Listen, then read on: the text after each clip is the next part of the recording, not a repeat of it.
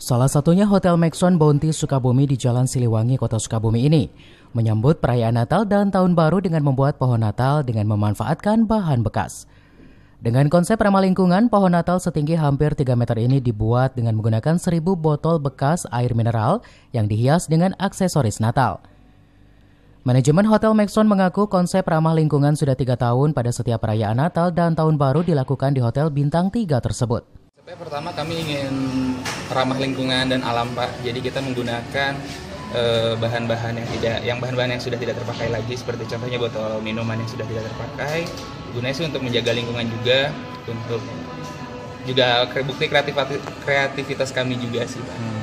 hmm. Untuk pengerjaannya sendiri dan butuh berapa banyak botol untuk satu pohon ini? Kalau untuk botolnya sendiri kita hampir 1000 Pak, itu total di 800 hampir 1000 botol.